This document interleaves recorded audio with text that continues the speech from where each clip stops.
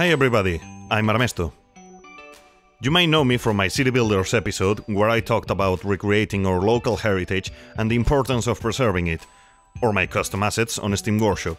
I'm here today to present my new content creator pack published by Paradox Interactive, Bridges and Piers.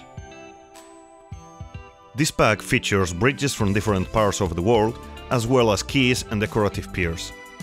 I hope that you find them useful and that they bring life to your cities. With many diverse styles of networks, from ancient stone bridges to colorful truss viaducts, strong granite seawalls capable of keeping the ocean out, to charming spaces for citizens to walk around your rivers on the dual level quays.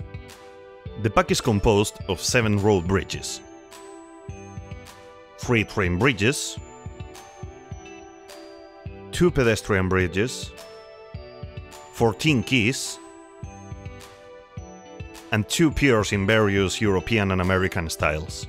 I want to give you a small preview of all of them, and some tips on how to get them to look the best in terms of realism. Keep in mind, you don't need any mods to get this to look amazing, but if you play on a platform that does support them, you should look to get some that will add a lot more control over your build. Let's take a look at them. Road bridges come in two different styles, European and American. Each set has three different sizes, with two, four, or six lanes. They all include custom sidewalks, so you can use them as regular roads around your city to have six new styles. The European bridges are based on some from Paris. Their beautiful stone arch structures fit nicely in any old city center. American ones, on the other hand, are a mix of truss metal bridges and stone for a more stylized and modern look.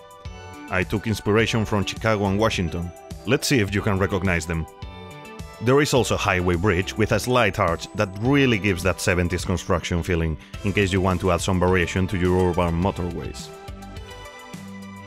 The pack also features two pedestrian bridges, one from each region. If you would like a lovely, wide and walkable bridge, the European one might be a better match, with its beautiful metal arches.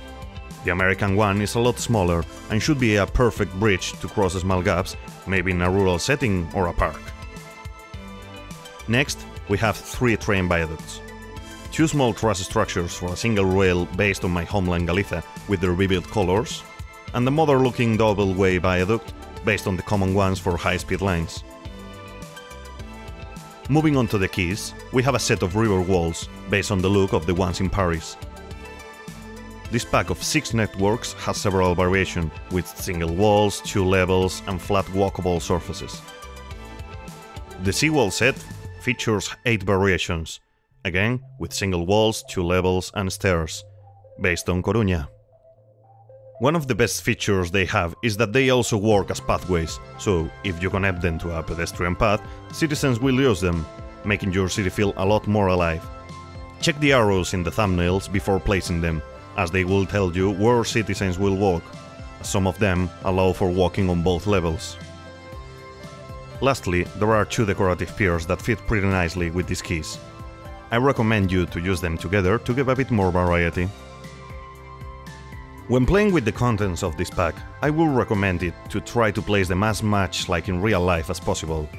Try to place them straight, on level with the water, and without making intersections on the elevated segments. The bridges are not very tall in real life, so they will look better if you don't place them too high in the air. Of course, these are suggestions to get them to look as nice as possible. Feel free to use them however you see they fit in your cities. Creative freedom is one of my favorite aspects of City Skylines, and I can't wait to see how you use my assets. Feel free to tag me on Twitter to show me your screenshots. I hope you have all the information now to use Bridges and Pier to its full potential.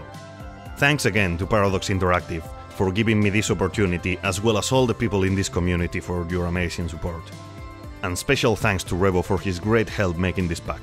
Without him, this wouldn't have been possible. If you don't have it yet, you can find links to the store in the description. And as you scroll down, why not subscribe too? I'm Armesto. Thanks for watching and never stop building.